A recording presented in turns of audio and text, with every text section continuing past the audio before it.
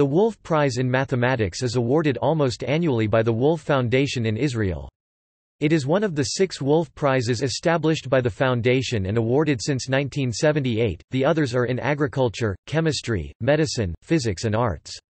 According to a reputation survey conducted in 2013 and 2014, the Wolf Prize in Mathematics is the third most prestigious international academic award in mathematics, after the Abel Prize and the Fields Medal.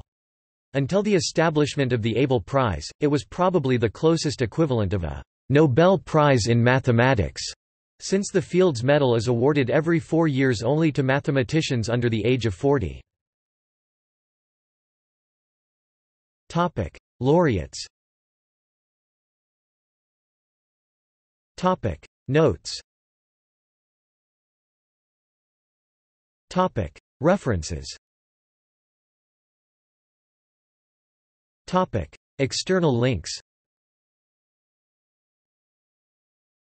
The Wolf Foundation Prize in Mathematics Huffington Post Israel Wolf Prizes 2012 Huffington Post, 10 January 2012.